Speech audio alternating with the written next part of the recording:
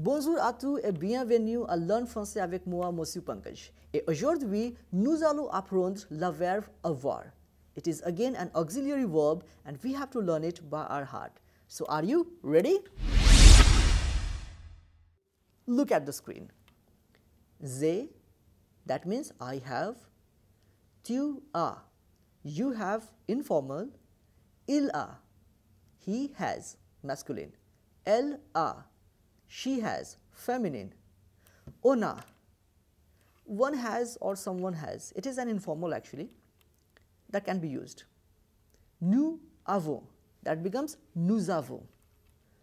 Vous avez. Ils ont, they have.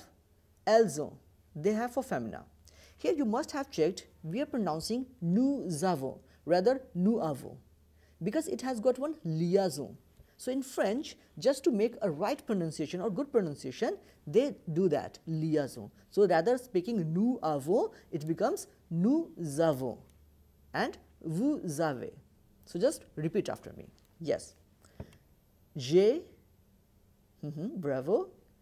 Tu as, mm -hmm, il a, très bien.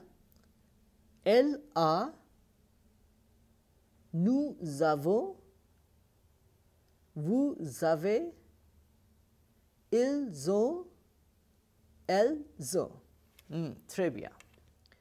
Now, let's check out some sentences with the verb avoir that we have just learned. So, if I want to say, I have a pen, j'ai un stylo, j'ai un stylo. I have a pencil, j'ai un crayon. Or if I want to say we have a pencil, nous avons un crayon. He has a phone. Il a un portable.